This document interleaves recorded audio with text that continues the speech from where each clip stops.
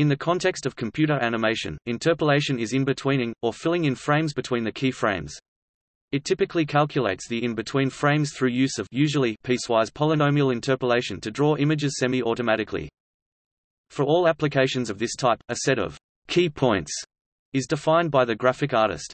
These are values that are rather widely separated in space or time, and represent the desired result, but only in very coarse steps.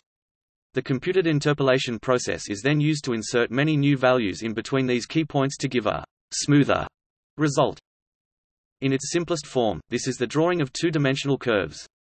The key points, placed by the artist, are used by the computer algorithm to form a smooth curve either through, or near these points.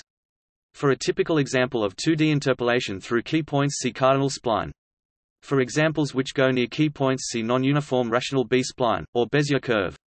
This is extended to the forming of three-dimensional curves, shapes and complex, dynamic artistic patterns such as used in laser light shows.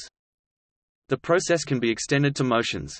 The path of an object can be interpolated by providing some key locations, then calculating many in-between locations for a smooth motion.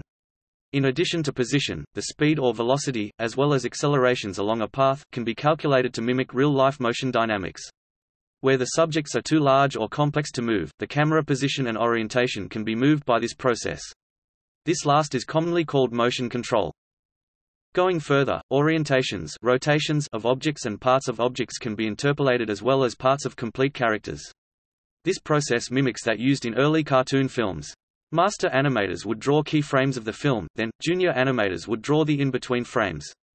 This is called in-betweening or tweening and the overall process is called Key frame animation.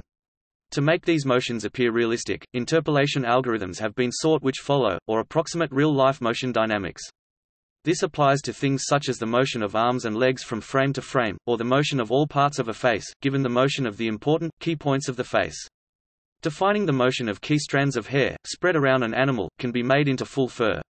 Using custom algorithms, motions with unique, unnatural and entertaining visual characteristics can be formed. The color of an object can be defined by key color locations or frames allowing the computation of smooth color gradients around an object or varying in time. Algorithms such as the Kochanek-Bartels spline provide additional adjustment parameters which allow customizing the in-between behavior to suit a wide variety of situations. The article on tweening currently demonstrates several of these.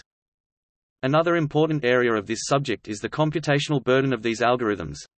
Algorithms with faster execution times are sought to produce more of these results in less time in order to complete these projects quicker. As the resolution increases to produce animated feature films, the amount of processing can increase greatly. And parts of objects can be defined in a key color. Topic. See also Morphing